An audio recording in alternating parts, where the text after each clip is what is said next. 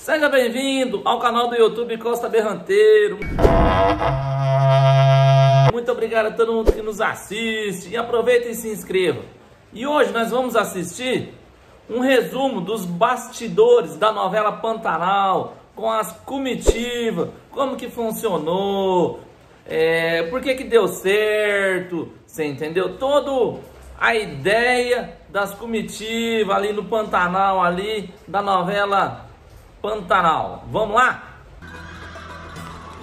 Os peões fazem parte da história do Pantanal. Trabalham de sol a sol no manejo do gado. E peão que é peão tem que estar de pé cedo.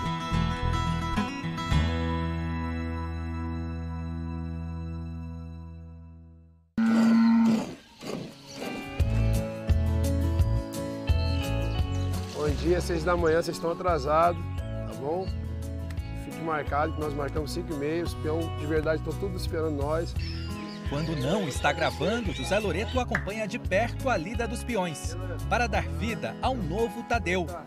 Primeira vez saí, os caras batendo um pratão de arroz, falei, não é possível, seis da manhã, cinco da manhã não é possível. Comi pouquinho, né? Fiz o tipo, né? Peãozinho de leve. Nove da manhã tava morrendo de fome. Dessa vez não vai acontecer isso. O grupo de peões da novela também tem os atores Gabriel Sater, Leandro Lima e Guito. São os companheiros de Tadeu, os personagens Trindade, Levi e Tibério. Gabriel já está habituado à rotina do Pantanal. Desde criança com meu pai trabalhando no gado, né? Com os peões.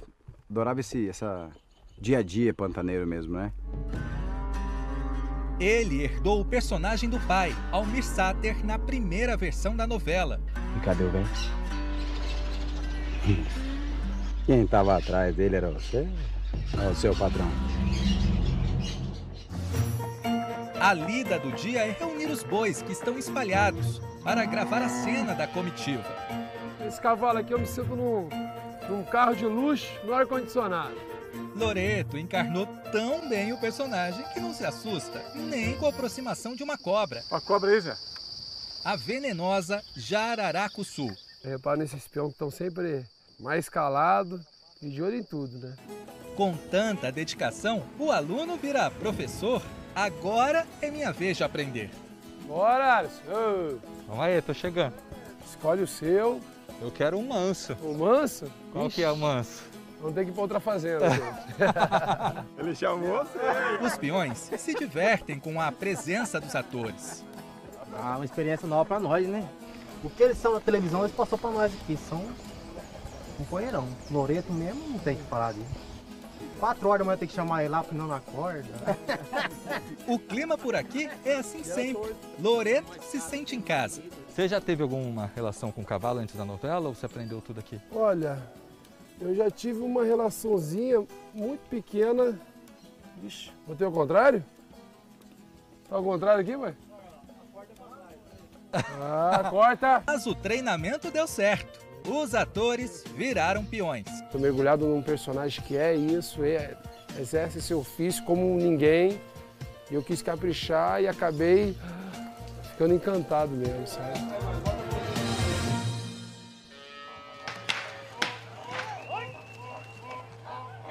No Pantanal da vida real, essa é uma cena muito comum. Os peões levando o gado de uma fazenda para outra. São dias e mais dias de viagem. Nessa comitiva, os peões estão levando 1.200 bezerros para a engorda.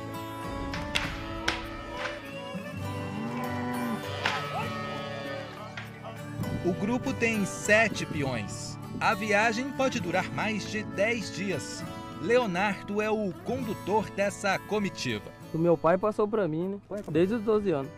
Eu acompanhava a comitiva, comecei a ir, comecei a gostar. Quem cuida da comida dos peões vai na frente do grupo.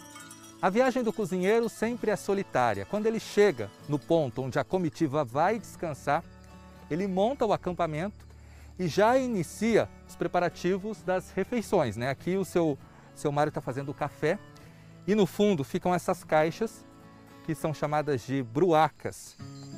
Assim que monta o acampamento, seu Mário começa a preparar a comida.